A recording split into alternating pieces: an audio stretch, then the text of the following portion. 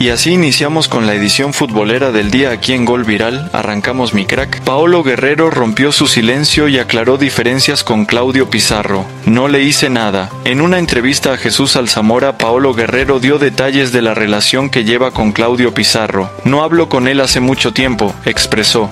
Paulo Guerrero es uno de los futbolistas que actualmente se encuentra sin club en este arranque del 2024. Pese a ello, sigue entrenando y esperando alguna oferta para poder seguir compitiendo al máximo nivel que exige el fútbol de hoy en día.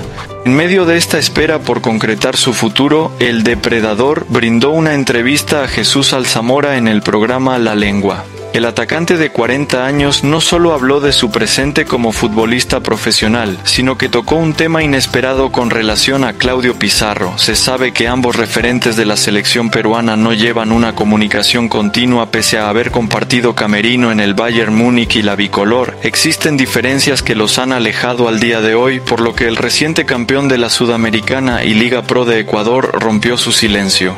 Paulo Guerrero reveló que no habla con Claudio Pizarro desde hace bastante tiempo. Sin embargo, le mantiene un respeto por todo lo que hizo profesionalmente en el Perú y en Europa. Fuera de ello, no entiende las razones del por qué están incomunicados, ya que ahora hay diferencias entre ambos delanteros.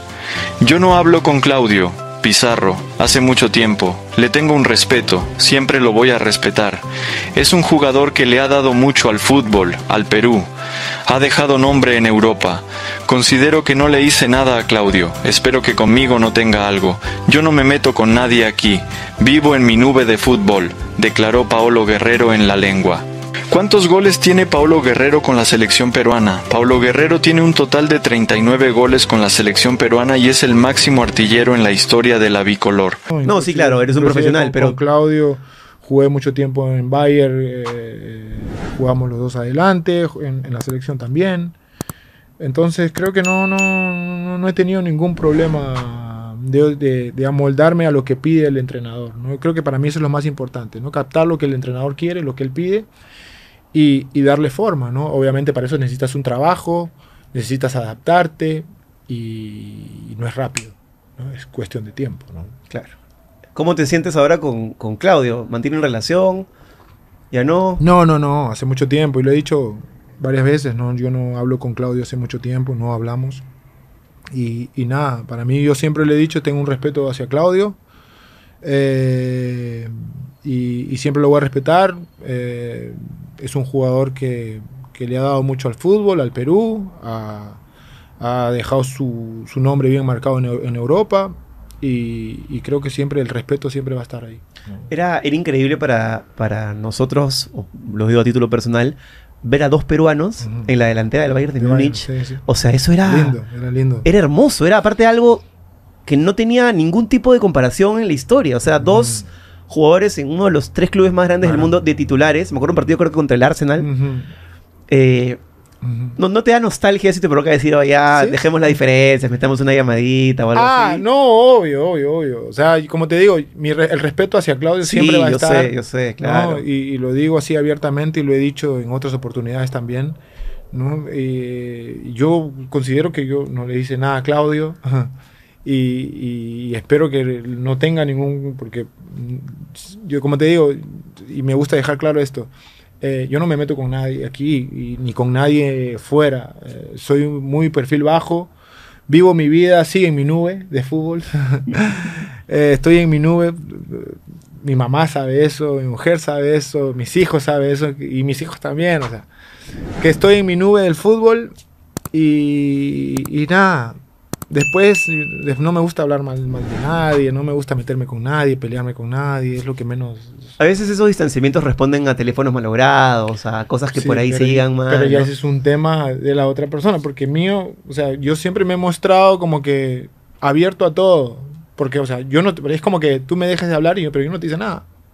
Y si tú escuchaste otra cosa de otra persona, bueno, es un tema que tú se lo tienes que preguntar a otra persona y que la otra persona que se lo dijo que venga a mí y me diga, oh, Pablo, tú dijiste eso. O preguntártelo a ti directamente. Exacto, exacto, claro. exacto. Ahí considero que sí, ahí tendría algo que ver, pero después yo no...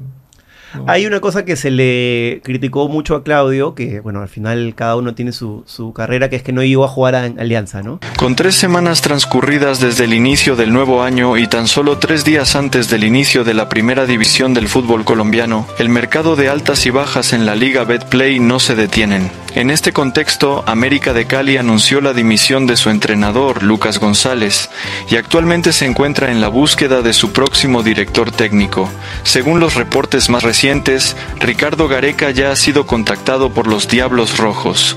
El lunes 15 de enero, América sorprendió a muchos seguidores al anunciar a través de las redes sociales que González no seguirá como entrenador del equipo. Además, se informó que ninguno de los miembros del cuerpo técnico actual permanecerá en el cargo, por lo tanto en este momento Alex Escobar mantiene temporalmente el rol de DT del equipo como interino. Ante esta situación la directiva Escarlata se encuentra ante un desafío importante ya que la liga Betplay está a punto de comenzar y su primer partido se jugará este sábado 20 contra las Águilas Doradas en el Estadio Olímpico Pascual Guerrero. Por esta razón han iniciado la búsqueda de un nuevo timonel y el nombre de Ricardo Gareca es el que suena con más fuerza para ocupar el puesto. Ricardo Gareca en negociaciones con América de a sus 65 años, el Tigre, quien tuvo un destacado desempeño como jugador en los años 80, es la prioridad.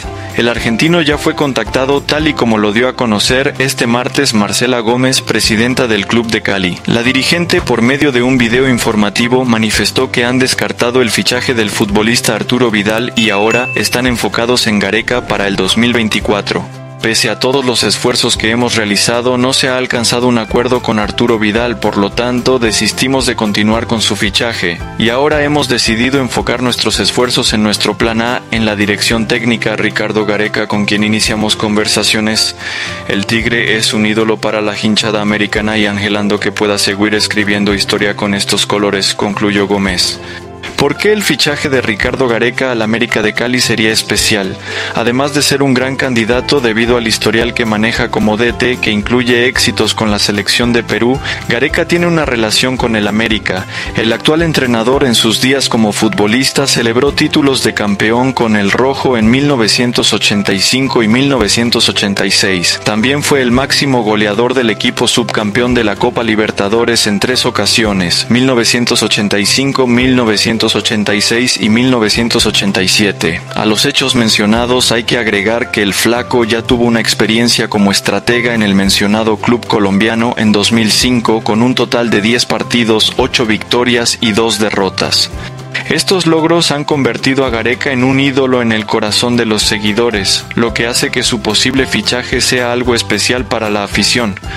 Asimismo, el argentino ya expresó hace dos años su interés de en regresar al América de Cali como entrenador. No obstante, en ese momento, el equipo ya contaba con un estratega, pero ahora la situación es diferente y favorable para que se pueda dar el fichaje. El América es un club que uno siempre tiene en mente, lo que pasa es que tiene lógicamente hay que ver si se da la situación. Muchas veces el momento del club tiene que coincidir con el momento del entrenador, si el entrenador está libre y si el club tiene la necesidad de contratarlo. Son clubes muy importantes en los que se tiene que dar el tiempo y el momento justo para que se dé esa unión, declaró a Caracol Radio en 2022 tras salir de la selección peruana. Y bueno, mis cracks, ¿qué opinan ustedes sobre las últimas declaraciones de Paolo sobre Pizarro y la chance que tiene Gareca de ser técnico del América de Cali? Déjanos tu opinión en la cajita de los comentarios y nos vemos en la próxima.